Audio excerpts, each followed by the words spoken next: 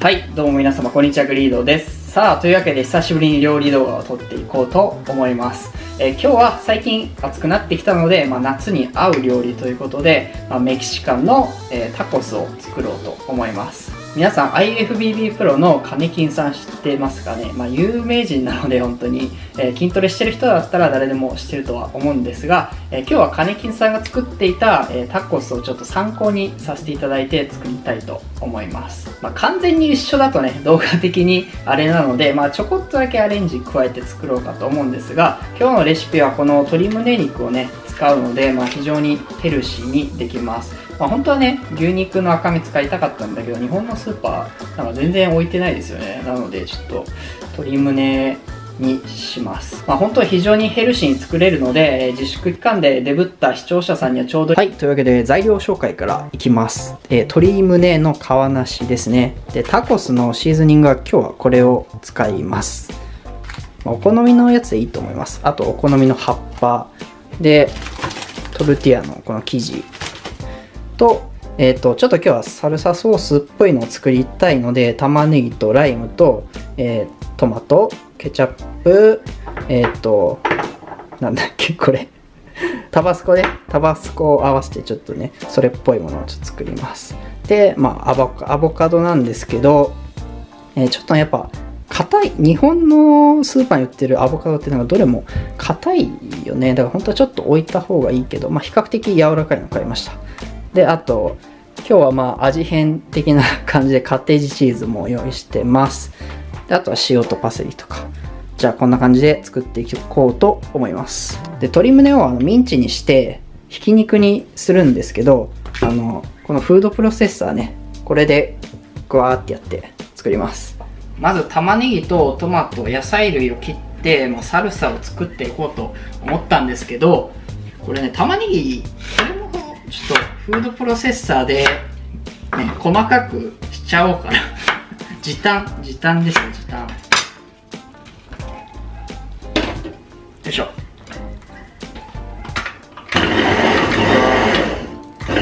程よくねこんなもんかな。早い。すぎる。あ今日近所の犬とかすごい騒いでね。よし。ちょっと細かくしすぎた感あるけど。まあまあまあ。じゃあ次はトマトを、えー角切りにします。よいしょ。前この前の動画で包丁買うって言って買ってないよま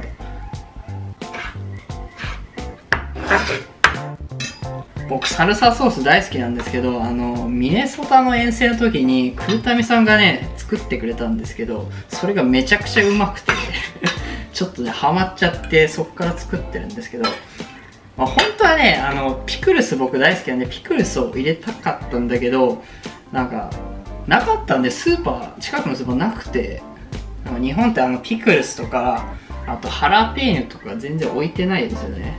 はいえーまあ、ライムをライムをまあ絞って。で塩。まあ適当。こんなもんかな。ちょっと味見で。でタバスコも僕は辛いの結構好きなんでそこそこ入れても多分。まあここは味見しながらですね。でこれケチャップ様子見でなんかパセリもちょっと入れとこうか。これ蓋蓋がと蓋が。よいしょ。うん。うみんな思ってると思うけど玉ねぎ 細かすぎたかな。あとちょっとこれ玉ねぎ多いな。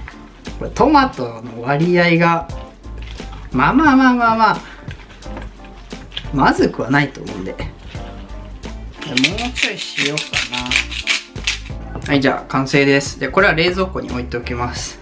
はいじゃあ次肉を、えー処理します。まあ今回皮なしなんで皮取んなくていいんですけどまあ一応あのダイエットダイエットレシピってことで紹介するのでまあこんな感じでざっくりえっ、と切ってもうこの中にぶち込むだけですよ。ひき肉にしちゃえば全然パサパサ感もないしすごい食べやすいので楽ですね。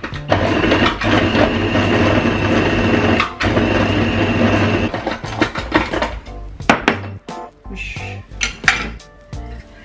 これ歯気をつけてね。こんな感じでもうあっという間。じゃあフライパンに、えー、オリーブオイルちょこっと垂らしてさっきねあの作った胸肉のひき肉を入れます。ミンチ肉。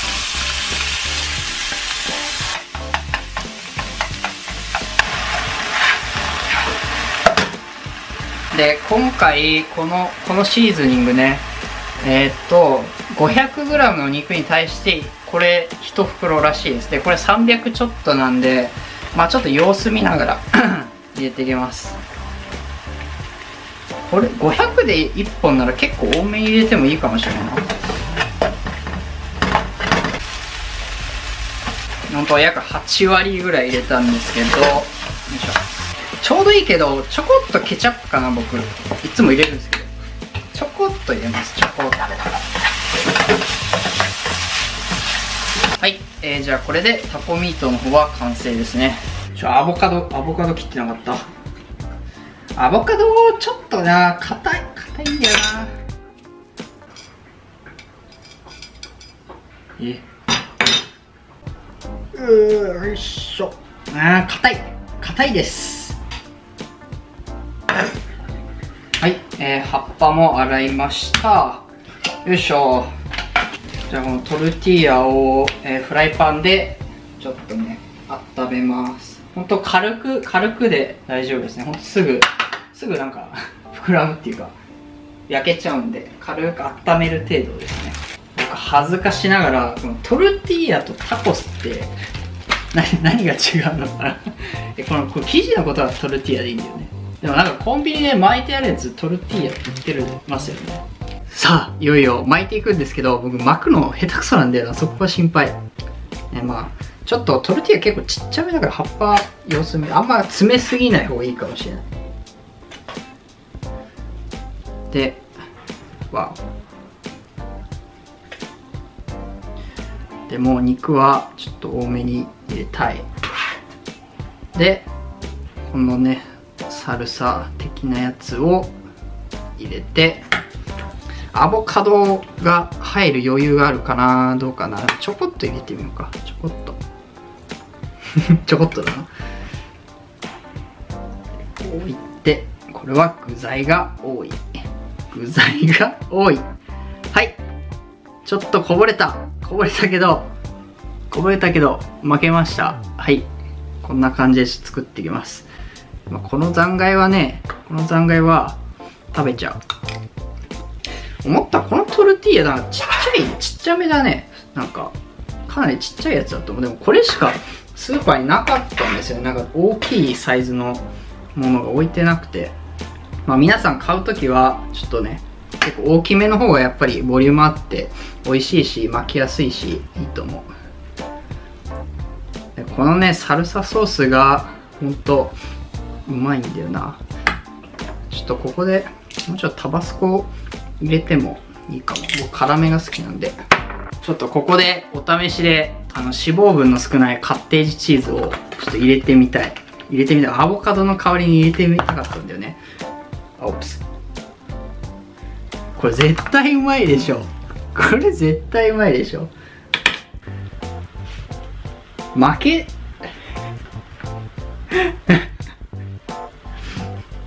もうギリギリです。控えめに持って。よいしょ。ほい。お。ほい。はい。というわけで完成です、えー、僕がちょっとね、欲張って具を詰め込みすぎたので破裂しそうですが、えー、完成です。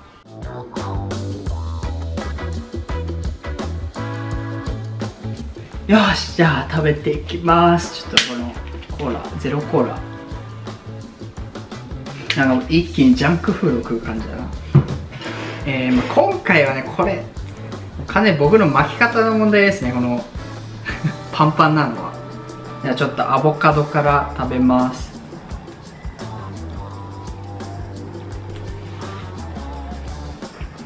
これはマジでうまい、ね、今まで僕まあ動画そんなたくさん出してるわけじゃないんだけどなんだっけアクアパッツァとパスタ系卵って作ってきたんですけどまあ、アクアパッツァの次かなアクアパッツァの次に美味しい。もう全然あのヘルシーなんだけどすごいジャンクフード食べてる感じ。本当このコーラと合わせるとマジでジャンクフード。ちょっとエルガドさんのライトつけてみた。で次あのカッテージチーズのやつこれかな？これこれ？これかな？多分こっち。多分こっち。いただきます。うん。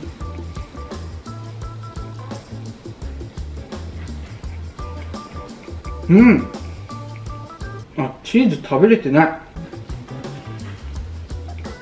まあ、これが一番美味しいかも。これカッテージチーズはマジで美味しい。なんか本当にジャジャンクフードなんだけどジャンクフード。もうなんかハンバーガー系とかもずっと食べてないからすげえ美味しく感じる、まあ、今回このねタコミートの味はかなりこうね、まあ、あんまり辛くないかったね。あんま辛くなかった。でだからお好みでちょっとねチリとか入れて辛くするとね辛いもの好きの人はいいと思います。で本当味付けもちょうどよくてサルサも、まあ、今回ね別で作ってみたんですけどすごい、ね、さっぱり感とねもあってでカッテージチーズとかアボカドのコク系が加わる加わると本当にねジャンクフードになりますね。なんだけど、まあ、ジャンクフードより全然あのヘルシーなのですごいこれはいいと思います。はいというわけでごちそうさまでした、えー、今回はねうんやっぱマジで美味しかったね。なんかいつも作ってるのよりなんか美味しくできた。気がします。